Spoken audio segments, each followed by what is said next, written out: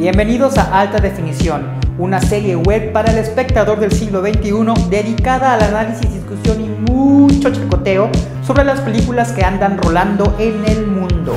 En esta ocasión quiero hablar de una película algo rara, Tully, protagonizada por Charlize Theron, escrita por Diablo Cody y dirigida por Jason Reitman.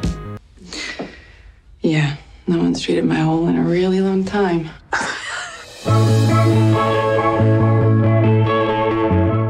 A ver, antes de comenzar con la reseña de Tully quiero dejar algo en claro. A mí me gustan los bebés, pero estoy seguro que toda la experiencia de tener un bebé puede resultar súper traumática. Desde el hormoneo desmedido durante el embarazo hasta el agotamiento en los últimos meses de gestación. Y ya ni hablar del parto, ya sea natural o por cesárea. Eso de sacarse una persona del cuerpo no es nada fácil ni tan mágico como mucha gente nos quiere hacer entender.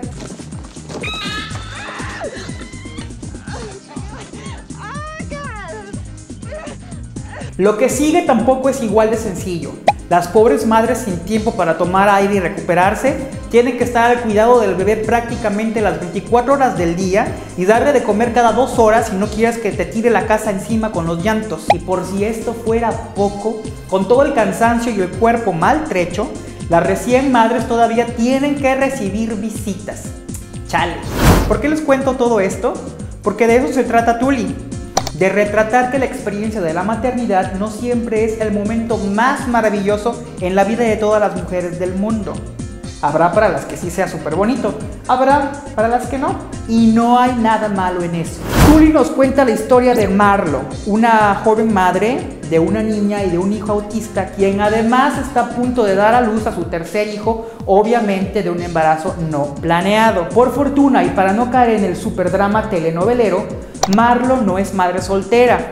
Su marido parece un buen proveedor, pero como todo buen padre proveedor, se va en las mañanas y regresa en las noches a cenar y a dormir. Así que lo voy a decir como es. Marlo está sola.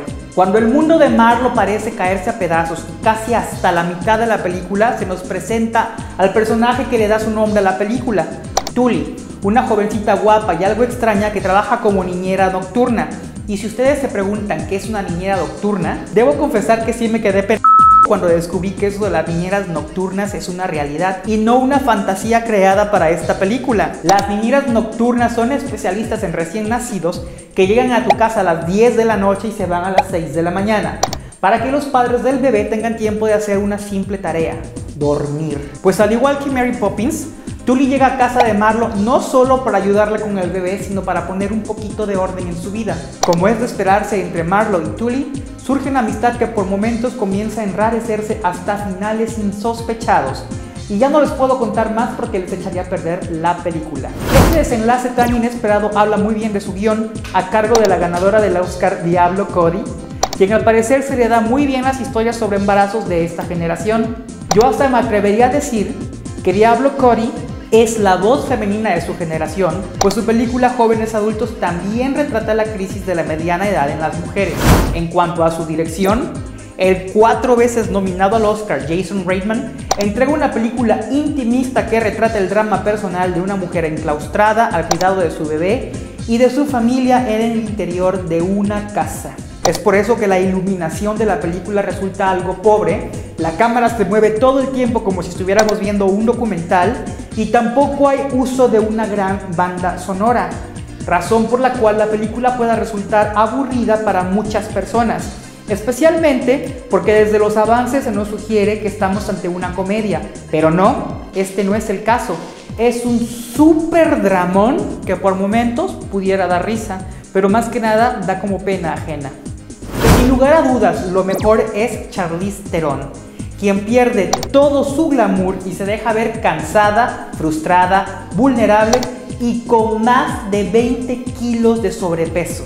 Por ahí se comienzan a rumorar nominaciones al Oscar para el equipo, pero especialmente para Charlize Theron. Solo espero que su actuación no quede en el olvido por haberse estrenado antes de la temporada de premios, como le acaba de pasar a James McAvoy en la película Split. Resumiendo, Tully es una película que retrata con mucha honestidad el lado más difícil de la maternidad y con un final bastante inesperado. Obviamente no es una película para el gran público, pero estoy seguro que sí se puede convertir en una película de culto y tema de conversación en muchos futuros baby showers. Hola, si te gustan mis análisis sobre películas y quieres más chacoteo cinematográfico, dale click a este enlace. Si quieres conocer más sobre mi canal, dale click a este otro enlace. Y si quieres recibir todas las críticas recién salidas del horno, suscríbete al canal. Y no se te olvide comentar el video, darle like y en el mejor de los casos compartir. No cuesta nada y motiva muchísimo.